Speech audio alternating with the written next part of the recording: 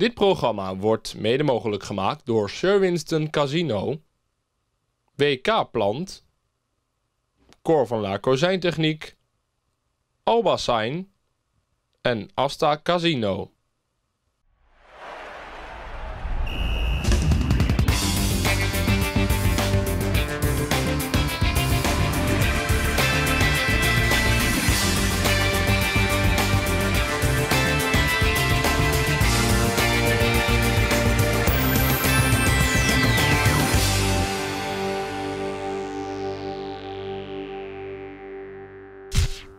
Hartelijk welkom bij een nieuwe aflevering van Haaglanden Voetbal Totaal. U ziet het, een totaal nieuw decor.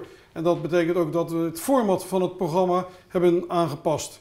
Wat gaan we wekelijks doen? Terugblikken op het afgelopen weekend. Maar we gaan ook vooruitkijken op datgene wat eh, komend weekend gaat plaatsvinden. Komend weekend geen competitieprogramma. Dat betekent dat we alleen maar gaan terugkijken. En dat doe ik met voetbalanalyticus Rob Blankenstein. We beginnen in de zaterdag en de zondag tweede klasse.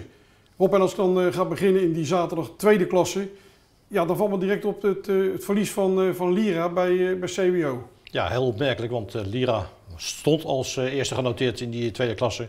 Kon die positie verstevigen, maar ging onderuit vlak voor tijd, eigenlijk in de blessuretijd bij CWO. Terwijl iedereen toch wel over eens was dat Lira eigenlijk aan het langsteind had moeten trekken bij de ploeg van Corné van Doorn. Die heeft dus uh, verlies geleden en uh, staat weliswaar nog steeds in de kopgroep. Maar dit is toch een klein uh, tikkie wat dit mannen uit de Lira hebben gehad. Ja, daardoor zijn ze ook uiteindelijk de, de, ja, de, de koppositie nu even kwijt. Als we gaan kijken naar SVC 08. Ja, natuurlijk in de week daarvoor het ja, onverwachte terugtreden van de, de trainer. Ron de Jager. Dan spelen ze bij DWO uit.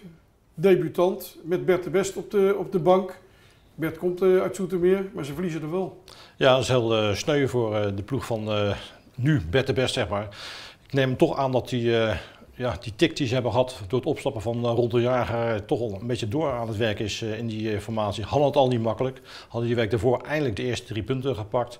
Gingen nu op bezoek in Zoetermeer bij DWO, promovendus. Dus dan zou je kunnen verwachten, gezien de versterkingen voor het seizoen van de SVC 08 en tegen de promovendus dat het een makkie zou worden. Tegendeel bleek waar, want DWO die trok terecht, heb ik begrepen, aan het langstand. Wat denk jij, uh, Bert de Best? Uh, men zegt bij SVC 08 van er moet een nieuwe trainer komen. Aan de andere kant, uh, Bert is toch wel een jongen die waarschijnlijk ook het veld wil, wil ruiken. Is dat tegenwoordig minder met keusgras. Maar verwacht jij dat er wel een, een nieuwkomer? Nou, ik verwacht het eerlijk gezegd niet. Ik denk toch dat men nog een x-aantal weken aankijkt. En ongetwijfeld een praatje zullen hebben met, met Bert. Om hem toch te van overtuigen om op het veld te blijven staan. En ik weet niet of die combinatie van functies echt een ideaal is. Waarschijnlijk in Bets ogen niet, maar gezien uh, Bets verleden altijd op het veld gestaan, denk ik dat hij uiteindelijk toch wel overstag gaat. Ja. Als we kijken naar de ranglijst op dit moment, SVC 08, uh, onderin, ook met clubs als Die Hagen, Sokkerboys, dat is ook een gigantisch tegenvallend begin. Ja, dat klopt. Maar goed, gelukkig heb je tegenwoordig de periodetitels. Dus wat dat betreft is het doel, wat ze toch voor ogen hebben, promoveren naar de eerste klas, nog steeds niet uit beeld. Dus wellicht gaat het op termijn wat beter. En kunnen ze een periode pakken. Maar om nu naar die eerste plaats uh, toe te kruipen in de loop der weken, dat zal beslist niet makkelijk worden. Nee, er moet een hele ommezwaai komen. Kijk naar een andere club die het uh, heel moeilijk had in het begin, maar pakte wel afgelopen zaterdag de, de eerste winst. Vitesse Delft. Ja, heel uh, knap van de Delftenaren. En wat heel opmerkelijk is natuurlijk, of wellicht niet opmerkelijk, is dat Sander van Akkeren ooit begonnen bij uh, Vitesse Delft uh, en weer terug op het ONS uh, tot drie keer het net heeft weten te vinden. Dus wat dat betreft een goede opsteker voor die mannen uit Delft-Zuid. Ja, en als ik toch even kijken in die tweede klasse C op zaterdag. Ja, dan tussen nummer 1 en nummer 6, hè, de CWO en VDL, maar een verschil van, van drie punten. Maar die zes, ja, daarna eh, dan zakt het ineens een aantal punten. Ja, dat uh, klopt. Als je dan kijkt naar de regenploegen, dan zie je eigenlijk alleen uh, ja, Lira en uh, DWO bij de bovenste zes. En wat ook opmerkelijk is, het verloop van de competitie tot nu toe tenminste van, van Monza, de ploeg van Maarten Klopbach. Vijf wedstrijden op rijen gelijk gespeeld. En nu afgelopen zaterdag toch een tik gehad bij RCL met 6-1. Dat hakt er natuurlijk aardig in. Ja. Goed, van het zaterdagvoetbal stappen we nog even over naar het zondagvoetbal. uiteraard ook in de zondag tweede klasse C. Daar werd deze week bekend, dat, uh, althans dat maakte Delft bekend, dat zij van de KNVB bericht hebben gekregen dat de wedstrijd tegen uh, TAC 90 ongeldig is verklaard, want het kunstgrasveld zou daar nog niet uh, vrijgegeven zijn. Opmerkelijk. Ja, dat is heel opmerkelijk, want je hebt natuurlijk voordat de competitie begint, heb je het bewaarnummer, noem ik het maar even. Daar zijn natuurlijk alle clubs in die uh, zeg maar, kunnen uitwijken naar kunstgras. Nou, Lira, of sorry, TAC heeft natuurlijk op een gegeven moment gekozen voor het kunstgras. Maar ja, dan is het een beetje een spraakverwarring of het nou wel of niet vrijgegeven is. Maar blijkbaar, volgens de laatste berichtgeving, is het uh, niet vrijgegeven formeel. Dus moet die wedstrijd, die met 3-2 gewonnen werd door uh, TAC, overgespeeld worden. Ja, ik had wel begrepen inderdaad van de voorzitter van, uh, van TAC 90. Die zei nog, ja, ik ga niet zomaar over één nacht ijs. Ik moet de zekerheid hebben dat inderdaad het veld is vrijgegeven. En hij bevestigde dat inderdaad. En ik weet dat wij vanuit Haaglanden voetbal, omdat West twee dagen geen uitsluitsel wilde geven uh, hebben wij op een gegeven moment de afdeling voorlichting van de KNVB geraadpleegd. Daar hebben we een keurig schriftelijk bericht van gekregen. En er werd gezegd, dat het veld was wel vrijgegeven. Dus ja, wellicht krijgt dat nog een staartje. Overigens, tak 90 ging gewoon de goede weg door afgelopen zondag. Zo klopt de RKDO. Ja, maar dat verbaast me niet echt, omdat RKD natuurlijk al uh, een x-aantal seizoenen in de ja, mindere fase zit. En ook dit seizoen hebben ze het weer uh, bijzonder moeilijk. Dus ik ben benieuwd of ze aan het eind van de rit zich uh, kunnen gaan handhaven. Onbegrijpelijk eigenlijk met zo'n grote vereniging, heel veel jeugd achter. Maar goed, wellicht, en dat is bekend van RKDO, die zit ook in op jeugd, dat ze op termijn daar toch een voordeel uit gaan halen. Maar voorlopig hebben ze het knap moeilijk, dus de winst van tak op RKDO verbaast mij niet. niet zoveel, nee. Dan kijken we naar, naar FUK. Twee keer thuis gigantisch uitgehaald, acht keer gescoord. En dan spelen ze tegen het, ja, ik denk toch wat bescheiden geclasseerde BMT. Met de hakken over de sloot, 1-0. Ja, dat kan je wel zeggen. En dan uh, heb ik begrepen ook dat het vrij laat tot stand kwam, uh, die 1-0 winst. En terwijl uh, BMT er ook zat kansen heeft gehad om in ieder geval tot scoren te komen. Toch altijd een moeilijke ploeg om tegen te spelen, BMT. Maar wat je net zelf al aangeeft, veel gescoord de laatste weken, fuck. Dus wat dat betreft viel het nu een beetje tegen. Maar goed, voorlopig hebben ze de punten gepakt en doen ze nog volop mee. Ja, opmerkelijk in tweede klasse C. En dan zie je dat voetbal nog steeds leeft, zeker in kleinere plaatsjes.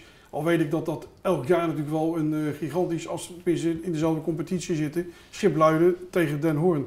Ik geloof bijna 1500 toeschouwers. Ja, dat is, uh, aan de ene kant is het opmerkelijk, aan de andere kant ook weer niet. En waarom is het niet opmerkelijk? Omdat het al sinds jaren dag de derby is uh, zeg maar in het midden Delftland. Wordt ook wel eens gekscherend genoemd de Holland-België variant.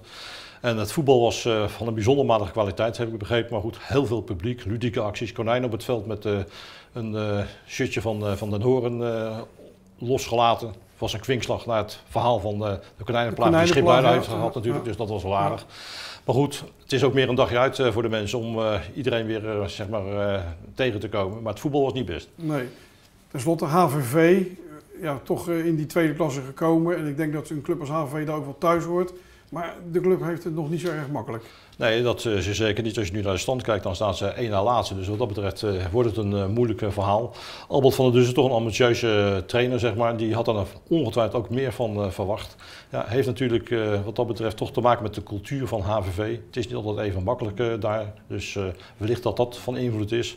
Maar HVV kennende, denk ik toch wel dat ze daar weer toch een paar plaatsjes omhoog kunnen kruipen naar die middenmoot. Goed, tweede klasse gaan we afsluiten.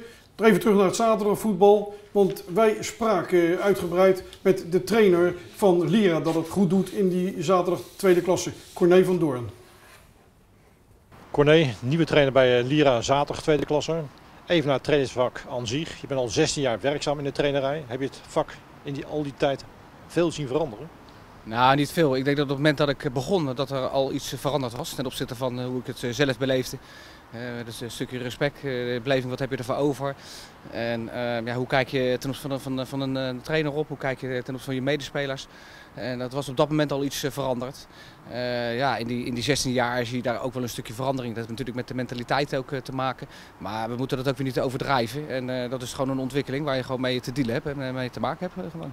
Nou stip je wat aan, verandering van mentaliteit. Heb je daar moeite mee als trainer? Nou, ik had er dus in het begin wel veel meer moeite mee, omdat ik zelf anders in elkaar stak. En uh, zelf uh, ja, altijd nog wel een, een, pittig baasje ben geweest.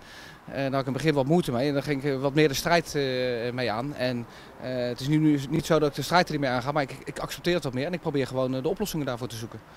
Je bent actief voetbal geweest bij, bij FUC. Heb je ook een x-aantal trainers meegemaakt. Is er nog een trainer waarvan je zegt van, dat was mijn voorbeeld? Nee, eerlijk, eerlijk gezegd niet. Ik heb wel respect voor al mijn trainers gehad. Ik heb met Jan Hoos gewerkt, ook nog trainer bij Lira geweest in, in eerste instantie. later nog met, met, met Rob Jansen, met René Pas, Frank Kuil. Ehm, ik kan niet zeggen dat, dat ik daar voorbeelden heb gehad. Van iedereen neem je wat over. Ik heb respect van de trainers, maar ik denk dat ik gewoon ja, de trainer van Doorn ben zoals ik zelf ben. Zoals gezegd, nieuwe trainer bij Lira, zaterdag tweede klasse. Hoe heb je de eerste maanden en de eerste wedstrijden ervaren? Heel goed eigenlijk. Ik ben eigenlijk heel snel in, in een uh, warm nest uh, gekomen. Ik moet eerlijk zeggen, daar moet ik ook mijn assistent-trainer Ron Bentvels voor bedanken. Omdat ik eigenlijk in een vrij laatstip uh, toch binnen ben gekomen. Hij er al een jaar zat en elkaar redelijk ook uit het voetbalwereldje kennen. En mij daar gewoon heel erg in ondersteund heeft. Voor de rest staat er een, een, een nieuwe organisatie. een stuk van een nieuwe organisatie met een, een nieuw technisch bestuurslid en een nieuwe technische coördinator. En met elkaar hebben we gewoon een, een groepje die gewoon heel actief zijn om vanaf begin af aan eh, ervoor te zorgen dat alles goed geregeld is. Daarnaast is het gewoon een fantastisch leuke groep. Eh, een groep waar totaal geen mutaties in zitten. En alleen maar leraarjongens uh, die er ook echt wel voor willen gaan. En ja, ik moet eerlijk zeggen dat het me bijzonder goed geval is en dat ik het ontzettend naar mijn zin heb. De club hiervoor waar je werkzaam was, was TUGB. Een zondag, ja, nu tweede klasse. Toen jij werkte eerste klasse. Vrij laat werd het toch bekend dat jij de stap ging maken naar, naar Lira. Hoe is dat contact ontstaan? Ja, de contact eh, dat is eigenlijk dan nog later ontstaan. Omdat op dat moment dat ik, eh, ja, de, doelstelling was bij TGB op een lange termijn eh, door te gaan. En ja, op dat moment bleken toch de doelstellingen en hoe je erover dacht om om te gaan niet te kloppen. En toen zijn we in goed overleg uit elkaar gegaan. Dat was een vrij laat stadium. Nou, dan weet je dat eigenlijk al heel veel clubs al bezet zijn.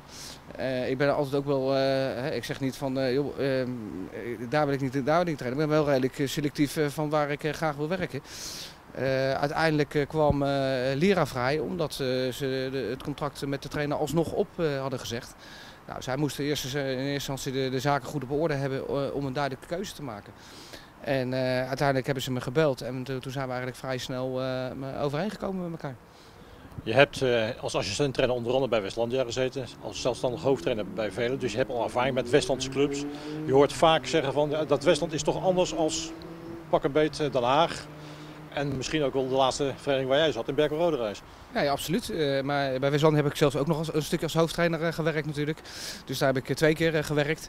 En ja, op een of andere manier zit daar een bijzondere klik. Omdat ik het prettig vind daar om te werken. De mentaliteit prettig vind. En ja, ik moet eerlijk zeggen, dat heb ik inderdaad bij, bij TGB heb ik dat gemist. Ehm, ehm, ehm, in, in, in Berkel dan. Uh, dat was jammer. En uh, inderdaad, in het Westland is dat heel anders. Ja, over Den Haag. Ja, ik ben eigenlijk uh, niet veel actief als trainer in Den Haag geweest. buiten die Haag en dat stukje, stukje HBS. Op zich vind ik het ook wel prettig werken. Maar ik moet eerlijk zeggen, dat Westlandse dat, dat bevalt me prima. Even kort naar de competitie. Uitstekende start wat dat betreft. Als je die tweede klasse C kijkt, gewoon een hele aantrekkelijke pool. Wat is jouw doelstelling en de vereniging de doelstelling zeg maar en wat verwacht je? Nou, de doelstelling die moet uh, gelijk zijn natuurlijk aan de vereniging en aan de trainer. Uh, daarin kom je overeen. we hebben eigenlijk een hele simpele doelstelling. En dat vind ik ook prettig, dat je, dat je ook gewoon een reële doelstelling met elkaar hebt. Ten opzichte van de voorgaande jaren. Om in eerste instantie een stukje rust te creëren, een stukje herkenbaarheid te creëren. de organisatie zodanig neer te zetten, hè, dus dat je daar straks op verder kan bouwen. En dit jaar niet voor degradatie te voetballen, zoals er dus dat in de voorgaande jaren gebeurd is. En nou, die doelstelling die wordt op dit moment prachtig behaald dat we op dit moment bovenaan staan, is alleen maar mooi. En dan creëer je alleen maar een buffer voor straks. Stel je voor eh, dat je daadwerkelijk daarvoor moet gaan. En uh, ja, het is hartstikke mooi dat je er staat. Misschien dat je straks de doelstellingen iets bij kan stellen. Maar volgens nog houden we gewoon uh, aan de simpele doelstellingen zoals we die in eerste instantie afgesproken hebben. Dus je denkt nog niet aan een platte kaart door de Lier aan het eind van het seizoen 2014-2015? Nee, absoluut. En heel stiekem, hè, want ik heb dat wel eerder meegemaakt natuurlijk hier bij RKDO, bij, bij, bij Velo, bij TGB. en heel stiekem, dan, dan zie je daar een glimp van. Maar nee hoor, in eerste instantie gewoon met beide benen op de grond staan. En gewoon houden aan de doelstellingen zoals we dat afgesproken hebben. Corné van Doorn, trainer van uh, Lira. Ja, opvallend overal waar hij zit, uh, Corné, uh, dat doet hij toch wel goed. Alleen misschien een minpuntje destijds bij HBS. Wij gaan verder met een overzicht van zaterdag en zondag eerste klasse. En dan beginnen we in de zaterdag eerste klasse B. Op, verrassend, denk ik toch de eerste winst van DSO. En wel uit bij, eh, wel een debutant, maar Valk 68 was erg goed begonnen. Ja, dat is zeker opvallend. Maar goed, het uh, kon ook wel eens uh, een beetje meezitten voor de ploeg van Arjan van, van Boksel. Valken natuurlijk een debutant, wat je net al aangaf. Ook een ploeg die thuis enorm sterk is, goede resultaten behaalt. Maar de 2-3 overwinning van Dezo in Valkenburg, want zo heet het formeel, die hoopt te resulteren in perspectief voor de toekomst voor, uh, voor DSO. Ja goed, DSO nu langzamerhand ook weer een beetje, denk ik, ook in de samenstelling eh, waarin die kan gaan uitkomen. Zijn we jongens teruggekomen, dat duurde even voordat die uh, allemaal weer waren ingepast. Ja, dat was natuurlijk een nadeel voor uh, Arja van Boksel. Als hij mensen terugkrijgt is natuurlijk positief, maar het feit dat ze te laat of laat terugkomen is natuurlijk niet bevorderlijk voor het formeren van een juiste formatie. Maar goed, wellicht dat hij nu de, de vinger op de zere plek heeft gelegd en dat kan uitbouwen in de komende weken. Ja, kijken we dan naar Haaglandia. Mauricio Ceccucci wordt uh, geplaagd door uh, nog wat blessures. Blessures die ook heel lang uh, duren. Desondanks in Vlaardingen bij Delta Sport punt weghalen, knap werk. Ja, dat is zeker knap. Zeker gezien het feit dat u de Delta Sport een tweetal weken geleden voor de grote KNVB-beker in Vlaardingen Willem II heeft uitgeschakeld. Gewoon een ploeg met goede spitsen. Ik heb begrepen dat de eerste helft duidelijk voor de thuisploeg was. Maar na de rust heeft de ploeg van uh, duidelijk terug kunnen, kunnen komen tot een 1-1 gelijkspel. En ze hebben natuurlijk nog het restante goed van de wedstrijd in uh, Amstelveen tegen Swift. Staan ze weliswaar met 1-0 achter, dus als die mogelijk om kunnen draaien in winst, kruipen ze toch weer wat omhoog. Ja, goed. Dan kijken we naar Forum Sport tegen Voorschoten 97. Ja, met Voorschoten gaat het niet goed. Opvallend vond ik afgelopen week een, een uitspraak na die wedstrijd dan van de, de trainer Marcel de Hoogd van, ja, we hebben niet beter. Ja, als dat zo is, dan is dat inderdaad uh, zeker met het restant van de competitie voor de boeg eh, niet, niet best. Maar goed, vorig jaar had men ook al problemen natuurlijk bij, bij voorschoten. Hele ambitieuze vereniging natuurlijk. Hebben natuurlijk een uh, blik gehad op uh, de hoofdklasse sowieso en wellicht op termijn naar de topklasse. Nou, dat is allemaal door omstandigheden niet gelukt. We hebben natuurlijk ook een uh, probleem gehad met, met de belastingen. Dus wat dat betreft, het, het zit niet echt, echt lekker daar momenteel. Dus, en dat wordt ook tot uitdrukking gebracht in de huidige stand. Ja, voor, voor voorsport was heel belangrijk, hè? Zo'n zes punten wedstrijd. Ja, dat zeer zeker. Dus wat dat betreft eindelijk een volle winst voor de voorburgers. En dat konden ze hard gebruiken. Ja, kijken we dan naar Nooddorp. Die speelde tegen ook een debutant, HVC 10. Nooddorp, ik denk nogal wisselvallig tot nu toe. Ja, maar goed, uh, ze hebben nu blijkbaar het lek boven, want dit was uh, de tweede winst uh, op rij. En HVC 10, de fusievereniging uit Hoek van Holland, begon natuurlijk heel sterk. Maar de laatste twee competitiewedstrijden, de week daarvoor 0-4 op eigen terrein verloren van Delta Sport. Nu afgelopen weekend verloren van, van Nooddorp. En wat ook opmerkelijk is, ze hebben al liefst 16 eh, doelpunten tegen. Dus uh, daar mag eens aan gesleuteld worden door uh, Pim van der Hoorn. Ja, dus werk aan de winkel bij de Hoekenaar. Wat dat betreft, vooral om verdedigend het, het lek boven te krijgen. Van de zaterdag stappen we naar de, de zondag. Eerste klasse B. Ja, direct springt ik ook, denk ik, de uitstekende start van uh, Bas Steffens met RKVV. Ja, dat uh, is in die zin opmerkelijk dat hij natuurlijk uh, de maximale score heeft nu. 18 punten uit 6 wedstrijden.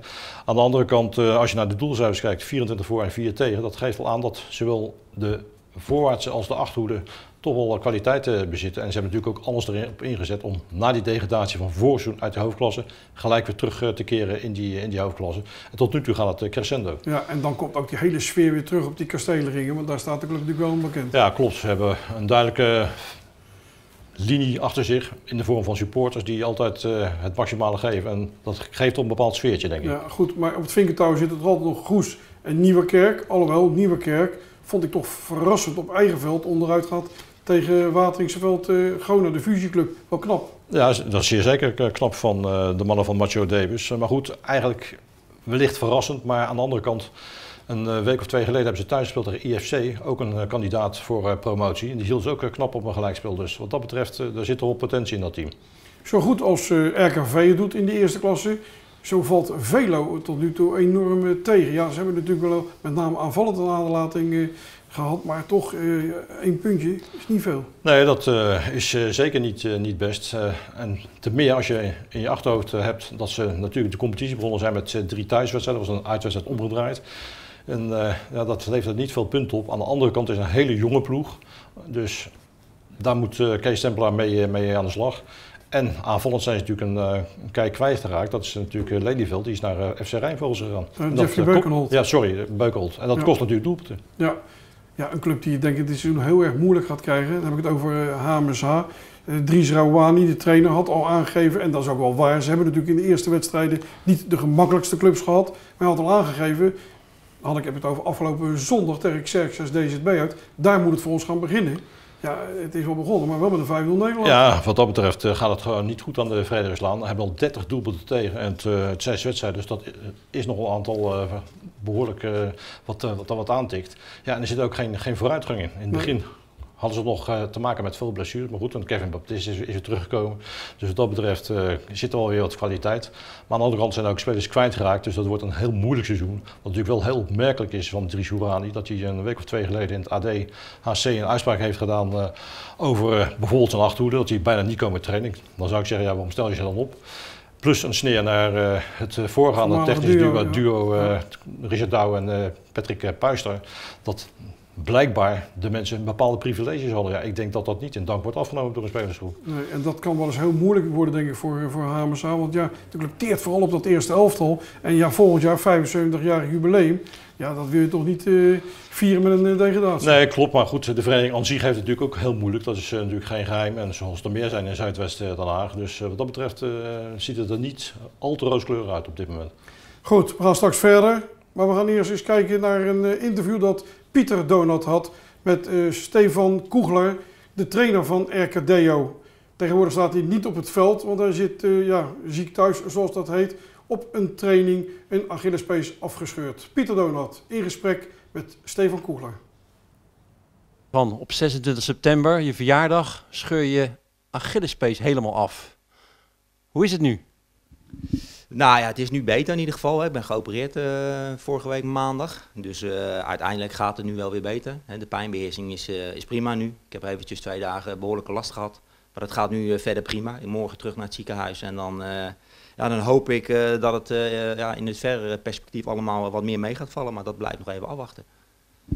Ik schrik wel, want je zit in een rolstoel en je komt de kamer niet uit. Dat is als een buitenmens heel vervelend. Ja, je bent gewend uh, om, om, om veel weg te zijn. Hè? Uh, meer weg dan, dan vrouw die vaak lief is. Maar goed, nu zit ik thuis, dat is het andere uiterste. Maar die rolstoel die heb ik gewoon even nodig om hier thuis wat mobieler te zijn. Om toch even als ik om mezelf ben een bordje te pakken en, en om mezelf te voorzien, zeg maar. Dan is de afstand naar het voetbalveld en zeg maar de club RKDO heel ver weg.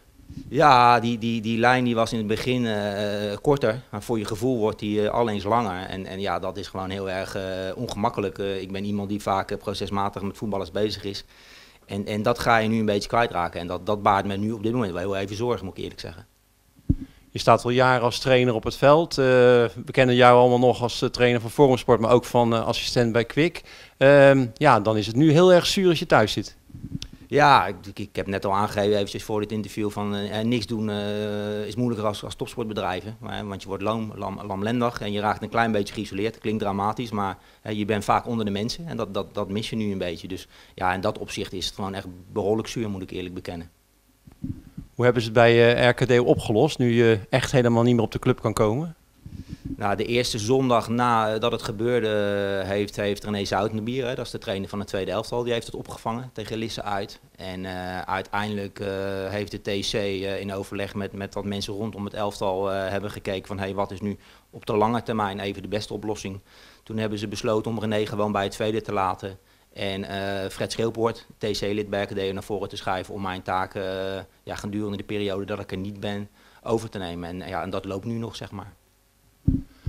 RKDO heeft uh, tot nu toe, maar dat is niet uh, ja, uh, alleen onder jou. Je hebt natuurlijk niet alle wedstrijden meegemaakt, maar heeft maar vijf punten, één keer gewonnen. hoe komt dat dit seizoen niet zo goed gaat?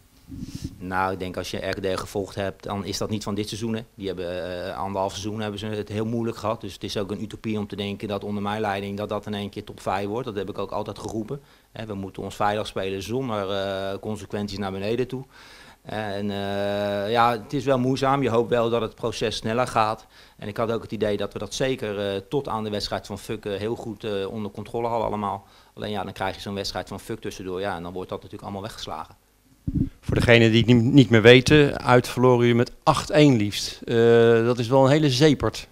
Ja, nou ja, dat, kijk, ik heb twee dompers nu meegemaakt bij, uh, gedurende mijn, uh, mijn dienstverband bij RKDO. En dat is deze blessure en die 8-1 tegen Fuck. Dan zou je zeggen, ja, het zijn maar drie punten die je verliest, maar dat is natuurlijk veel meer. je verliest elkaar en ja, dat is, dat is het ergste wat je als trainer en als team kan overkomen. Ik moet wel eerlijk zeggen, die week daarna tegen Schipluiden stonden er wel weer. Er werd 0-0, strafschop gemist, een, een goal afgekeurd. Dus toen hebben we wel onze rug gerecht. Dus ik hoop ook dat dat gewoon incidenteel is geweest dat je meedeed op de training. Dat doen trainers niet veel. Waarom heb je dat ja, op 26 september gedaan? Nou ja, we hadden, we hadden elf spelers. En, en in de eindpartij wil je dan ook wel eens een even aantallen trainen. En uh, nou ja, trainertje dacht dat hij dat nog wel allemaal wel kon. En ik ben niet de oudste trainer en ik voel me nog fit. Dus ja, het gebeurt wel meer dat je instapt zonder consequenties. Alleen in dit geval ja, werd, ik, werd ik in één keer getackeld. Door mezelf, blijkt achteraf. Hè? Want uh, je kijkt achterom en er gebeurt uiteindelijk niks. Want je staat zelf uh, in een omgeving zonder, zonder spelers waar, waarin dat, dat zomaar gebeurt. Ja, en, en ja, niet, niet wetende dat dat kan gebeuren. Ik heb ook navraag gedaan. En ja, het had ook kunnen gebeuren als het 20 had geweest. Dus ja, dat, dat verzacht misschien dat leed weer een beetje. Voor de duidelijkheid, ik heb begrepen dat je 43 jaar bent, maar je bent natuurlijk ontzettend lang al trainer. Hè? Je bent vroeg begonnen. Ja, dat vergeten een hoop mensen nog wel eens. Van, nou ja, hij is 43, dus zal nog wel een rookie zijn. Maar goed, ik ben op mijn 19e begonnen. Hè, dus dat is snel optelt. Een jaar of 24 ben ik nu al bezig. Dus uh, wat dat aangaat, uh, ja, heb ik best wel de ervaring. Alleen ja, goed, dat past misschien niet bij mijn leeftijd. Maar ja, dat is gekomen omdat mijn eigen voetbalcarrière gewoon ja, wat sneller beëindigd is als bij een ander. RKDO, de rest van het seizoen. even straks komen erop hoe lang je nog, wanneer je weer denkt te gaan trainen. Maar hoe, wat zijn verwachtingen dit seizoen verder?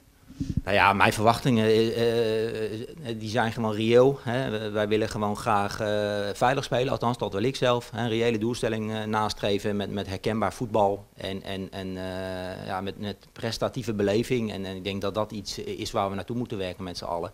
En ik, ik heb begrepen dat dat gisteren, ondanks de nederlaag, gewoon zichtbaar is geweest. Dus daar ben ik dan vanaf de bank hier wel tevreden mee. Over de bank gesproken, wanneer hoop je weer bij RKDO op de bank te zitten en misschien daarna uh, op het veld? Nou ja, ik, ik, ik, ga nu nog een, een gipsperiode in van een week of twee. En dat mag absoluut niet belast worden. Op het moment dat daar een hieltje onder komt, over een, een week of twee, drie, eh, kan ik wat meer doen. En ja, dan hoop ik gewoon samen met Fred de wedstrijdcoaching te kunnen oppakken. En ja, het zal ergens, denk ik, tegen de winterstop zijn. Of misschien zelfs daarna, daar durf ik geen voorspelling over te doen. En dat ik weer gewoon mobiel ben en zelf trainingen kan geleiden. Want je zit natuurlijk ook nog met het fenomeen. En auto besturen, dat is voorlopig ook nog niet aan de orde. Sterkte met de revalidatie. Dankjewel Pieter. U zag Pieter Donat in gesprek met Stefan Koegler. Ja, dat is altijd uh, triest als je bij een uh, club begint als nieuwe trainer en dan overkomt je zoiets en je moet dan uh, ja, vanaf huis toekijken.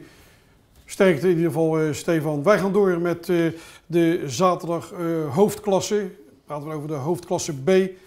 Ja, na zes wedstrijden op, eindelijk de eerste winst voor FC Schouwen-Zonde. Dat was trouwens ook vorig seizoen het uh, ja, geval. Ik, ik, wou het net zeggen, ja, de woorden uit mijn mond. Het is een kopie van vorig seizoen, ook de eerste vijf wedstrijden verloren. Met wel de aantekening dat dit seizoen natuurlijk die hoofdklasse B duidelijk sterker is qua ploegen als, als vorig seizoen. Met een Katwijk natuurlijk, een Noordwijk, uh, Quick, Quick Boys, Rijnvogels niet te vergeten. Maar 2-0 verdiende winst op uh, Smitshoek was er zelf bij. En dan gewoon een uh, hele verdiende overwinning. Had ook eigenlijk meer kunnen zijn, al bij de rust onder 2-0. Onder andere door een uh, mooi doelpunt van aanvoerder Jasper van Dijk met een kopbal. En het is gewoon een, een ploeg waar toch wel voetbal in zit. Met een paar aardige jongens, zoals Lopez aan de, aan, de, linkerkant. En, en aan de rechterkant die jongen van, van, van Duno. Dus ja, ik denk dat het... Leon, ja. precies. Dus het gaat wel wat dat betreft hopelijk ook voor Robin Knoes en, uh, en, zijn, en zijn mannen gaat het de komende weken wat, wat beter. Ja, maar goed, ze hebben de uh, crisis bij Smitshoek, uh, begrepen. Ja, dat, uh, dat is dan een gevolg van het een van het ander. Maar goed, als we het in, op de regio houden, is het natuurlijk een goede zaak dat Schaarson op dat niveau voetbalt. En hopelijk gaan ze dezelfde weg afleggen als, als vorig seizoen. Katwijk duidelijk op de weg uh, terug, weer zo snel mogelijk terug. Al verspeelde ze wel twee punten, of ze speelden gelijk, uh, verspeelde twee punten bij RVVA. Opvallend, net even buiten de regio, knappe debuut van FC Rijnvogels. Ja, hele knappe prestatie van, van die ploeg uit, uit Valkenburg natuurlijk een uh, fusievereniging, maar goed, die pikken altijd de afdankjes tussen aanhalingstekens op van Quick Boys, van een, van een Katwijk. En toch een ploeg die eigenlijk ja, toch wel verbaast als, als debutant in de hoofdklasse. Ja, van de zaterdag hoofdklasse gaan we naar de zondag hoofdklasse. Ja, net als vorig jaar een, geweldige start van Frans Danen met, met Quick. Ja, heel opmerkelijk. Maar goed, daar zit natuurlijk kwaliteit bij Kwik. Hebben natuurlijk al jarenlang hele goede jeugd lopen op landelijk niveau. Dus het zit er al een keer aan te komen dat daar geoogst gaat worden. En wellicht is dit seizoen het, uh, het seizoen waar Frans Daan met zijn mannen een stapje kunnen gaan maken. Hoewel ze daar niet al te happig op zijn, heb ik begrepen, om die stap te maken naar de topklas. Maar goed, dat is, zou ik zeggen, van latere zorg. Ja, ja je voetbalt allemaal natuurlijk om, om eerste te worden. DHC, ja, was, was moeizaam. Pakt wel belangrijke winst, nipt thuis tegen, tegen de dijk. Maar goed, daar zie je nu ook komen ook wat geblesseerde spelers langzamerhand weer terug. Ja, en ze missen nog steeds Ricky van den Bergen natuurlijk. Dus wat dat betreft toch wel een bepalende speler in, in dat team van Rob de Lange. En ja, wat dat betreft zit daar weer goed voetbal in, heb ik begrepen. Dus het is ook een ploeg die druk durft te zetten op, op de verdediging van de tegenstander. Dus ik denk dat het voor Rob de Lange toch wel een, en zijn man een behoorlijk seizoen kan worden. Kijken we nog even naar Westlandia. Ja, deed het even goed, maar ja, goed, het, afgelopen zondag ging het even mis bij Shabab. Ja, ja, en dat liep al een minuut of 40, 45 met 10 man te voelen. Robin Faber kreeg een directe rode kaart. Is, heeft hij vorig seizoen ook al, zeg maar, is hem dat overkomen. Dus wat dat betreft niet al te slim. Maar goed, Shabab is natuurlijk een uitstekend voetbalrond elftal. En die ploeg van Willem de Beste, ik ben ervan overtuigd dat ze zeker in Naaldwijk de nodige punten gaan halen. En die zullen ongetwijfeld mee gaan doen. Het zij voor het kampioenschap, dan wel een periodetitel. Sluiten we de, de, de hoofdklasse op zondag af met Haaglandia. Ja, dat is natuurlijk een, een verhaal apart met, met, met sokkerproef. Het, het, het, loopt natuurlijk voor geen meter sportief gezien. Maar ook, ook achter de schermen eh, gaat er blijkbaar heel veel mis. Ja, dat is een uh, drama. Ik was afgelopen zondag zelf. Nou, als ik tot 75 à 100 toeschouwers kom, dan zit ik al aan de hoge kant, denk ik. Waarvan nog de helft uit, uit Horen, want er komt Hollandia natuurlijk vandaan. Hadden geen schijnvakantie. Wel de keeper van Haaglander die hield ze nog aardig op de been. Maar ja, de hele entourage omheen is heel bedroevend. Ik sprak nog even met de elftalleider Patrick Arias, wiens zoon in dat team speelt. Ja, die klaagt ook steen en been. En hij moet alles zelf doen, van het ontvangen van de scheidsrechter tot het invullen van het wedstrijdformulier, eh, het oppompen van de ballen en het ontvangen van de... Ja, op de ballen krijgt hij hulp van de trainer. Ja, dat, dat, dat heb ik inmiddels gezien, ja. Maar goed, het is natuurlijk een hoofdklasse onwaardig. En uh, ja, gezien de hele situatie op dit moment met sokkerproef, daar heeft Haagland natuurlijk ook een probleem, eh, denk ik dan. Want ja, men heeft natuurlijk die zondag min of meer afgestoten na dat sokkerproef met bepaalde financiële afspraken. En ik ben bang dat het uh, wel eens een uh, hele zure pijp uh, aan het roken wordt voor Henk Daas en zijn mannen. Ja, want dat is natuurlijk wel vervelend, want men had natuurlijk gedacht, ja, de zondag ook nog even wat, ja, wat mensen binnen te krijgen. Dat ja. altijd goed voor, ja, voor, de, voor de penningmeester. Van de, van de zondag dan gaan we naar de topklasse op, op zaterdag. Scheveningen komt geweldig goed terug, 3-0 achtergestaan, spelen dat toch nog gelijk. Maar ja, dan ga je toch met, met gemengde gevoelens van het veld af. Ja, aan de ene kant misschien wel, maar goed, aan de andere kant kan je zeggen van 0-3 achter, dan teken je eigenlijk op dat moment voor een punt. Dus wat dat betreft uh, valt het misschien uh, wel mee. Maar goed, het is wel een ploeg uit uh, onze regionen waar je gelijk tegen speelt. Maar al met al mag natuurlijk Scheveningen niet, niet klagen. Ze doen het gewoon wat dat betreft uitstekend. Staan natuurlijk op die vierde plaats en dat in de topklasse met een heleboel ploeg om zich heen. Ja. Die natuurlijk qua budget veel en veel meer te besteden hebben. Dus ik denk dat het allemaal wel meevalt. Maar goed, winst afgelopen zaterdag tegen Sparta Nijkerhof betekent op de tweede plaats ja, staan. Klopt. Als je nou ook even kijkt bovenin, wat me dan even opvalt, de, de nummer 1 van voor het weekend, Kozakkenboys, krijgt gewoon een, een, een, pak slaag van, uh, van GVVV, dat nu bovenaan staat. Ja, dat is heel opmerkelijk. Uh, natuurlijk uh, Kozakkenboys met Danny Buijs als, als trainer uit Adelhagen, spelen onder andere. Presteerde tot toen toe heel goed, maar goed, vlak GVV niet uit in Veenendaal. Altijd heel lastig om daar te voetballen. Maar het blijft natuurlijk een opmerkelijke uitslag, 5-0. Waardoor uh, nu uh, op de tweede plek uh, staat. Klein stapje van de, de zaterdag topklasse naar de zondag topklasse. Ook daar één vertegenwoordiger vanuit onze regio, HBS. Begon goed uit bij JWC Kuik, maar ja, het ging toch mis. Want men ging met lege handen terug naar, naar Den Haag. Ja, klopt. En ja, ik denk dat André Wessel toch wel meer had verwacht van, van zijn mannen. Ik heb wel begrepen dat er twee doelpunten waren die dan door een assistent Neutraal overigens, uh, assistent scheidsrechter beoordeeld we wel of niet over de doellijn. En allebei de keren gaf hij uh, het advies aan de scheidsrechter om hem goed te keuren. Dus dat is ook iets waar je dan mee te maken hebt. Maar goed, wat dat betreft... Uh, wisselvallig HBS denk ja, ik. Ja, klopt. Heel, heel wisselvallig. En ja. op uh, Kraaihout zijn ze natuurlijk enorm sterk. Uit wil het af en toe wel eens tegenzitten, zoals afgelopen zondag dan. Maar goed, ik moet zeggen dat al met al HBS ik toch wel weer een paar plekken zie stijgen de komende week, want er zit zat kwaliteit in. Ja, wat dan opvalt in die, in die topklasse, een WKE, dat dat gewoon geplaagd wordt door allerlei financiële problemen. Het is maar de vraag of, of men het allemaal nog voor elkaar krijgt uh, voor uh, januari. Maar ze doen het helemaal niet onaardig, de middenmotor. Nee, wat dat betreft uh, moet ik zeggen dat WK altijd een ploeg is natuurlijk met sowieso voetballende kwaliteit. En ze hebben altijd een stukje power natuurlijk in die, in die ploeg. Het is overigens ook de eerstkomende tegenstander voor HBS op, op. Dus dat kan een aardige wedstrijd worden, denk ik. Goed, we gaan dat afwachten, want met die zondag topklasse we zijn aan het einde gekomen van deze aflevering van Haaglanden Voetbal Totaal. Ik wijs nog even op uh, onze aflevering van komende vrijdag. Dan Haarlanden Voetbal aan tafel. Onze talkshow opgenomen in Sir Winston Leisure. De moeite waard om ernaar te kijken. Hartelijk, dank voor uw aandacht en uh, wat dit programma betreft graag tot uh, volgende week woensdag.